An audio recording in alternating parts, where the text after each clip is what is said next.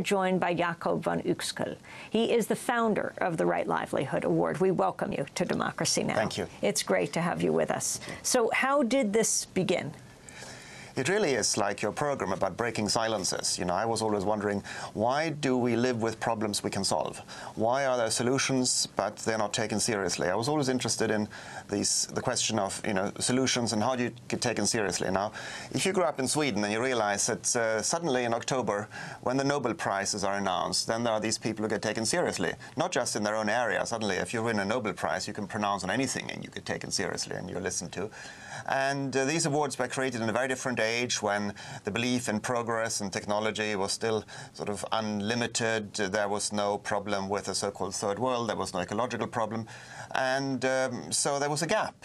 And strangely enough, only one gap was filled in these hundred years. A Nobel committee created one new award, not started by Alfred Nobel himself, namely the one for economics. And I said, well, that's a bit strange. You know, there are very important other gaps here. So I proposed to the Nobel Foundation an award for environmental work and for human development.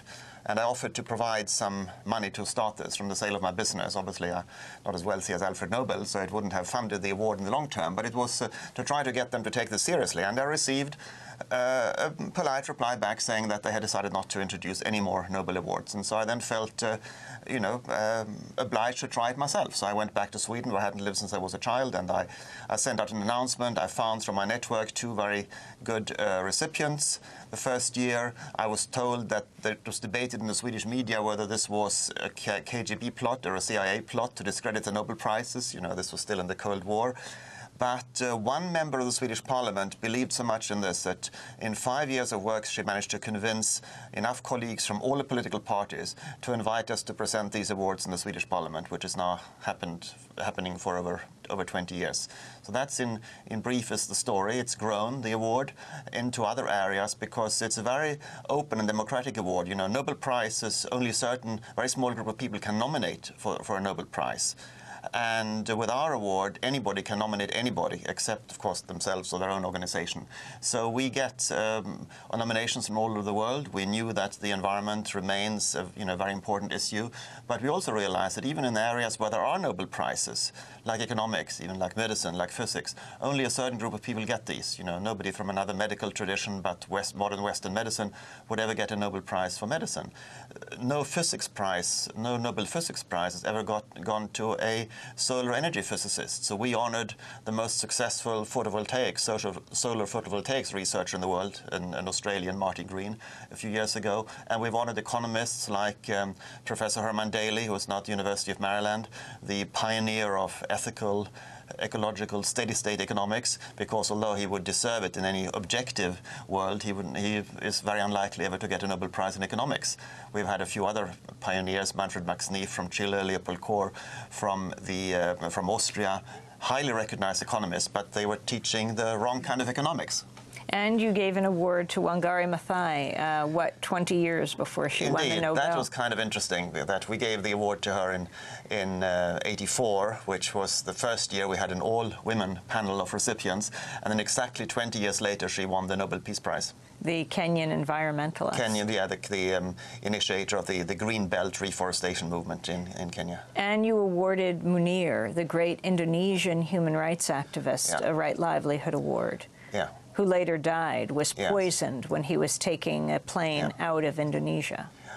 Yes, we, I mean, that was uh, one of these great tragedies that we have had other cases where we have not been able to save um, people, uh, but other cases where we have saved them. I mean, the, in, in, um, in Nigeria, Ken Saro-Wiwa was still executed, but his closest collaborator told us that he felt that if we hadn't given the award to, the, to their organization, they would have killed him too in another case from Guatemala, a human rights activist whose sister had been murdered in a political assassination, told us that um, the chief of police actually told her when she came back from the award presentation that now you are untouchable, as he put it. Now you're so well known internationally that they won't dare to kill you. Unfortunately, she's still in, in good health. And that was Helen Mack, that her sister Mack. Myrna Mack, who exactly. died September 11th, another September 11th, exactly. 1990, at the yeah. hands of Guatemalan security forces, an anthropologist.